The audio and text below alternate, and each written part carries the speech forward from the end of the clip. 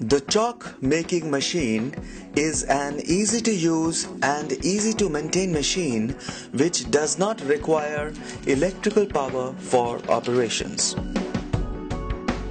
Lubricating the machine with castor oil or white oil is the first step in the operation.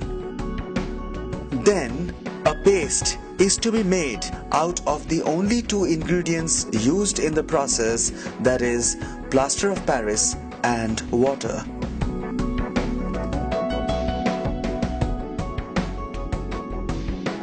Pour the paste over the mold.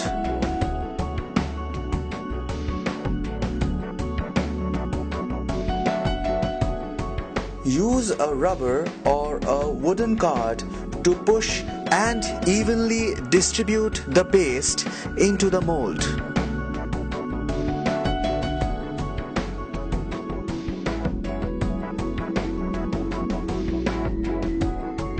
Leave it for 15 minutes.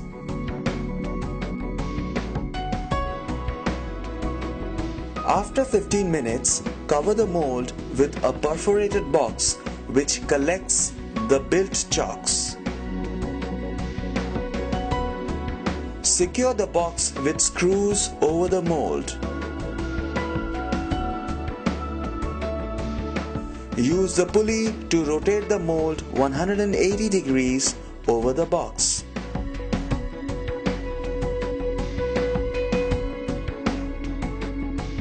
The piston attached to the machine is then to be used to push the built chalks out of the mold into the perforated box. Put the box into an electric oven for quick drying. Your chalks are now ready for use.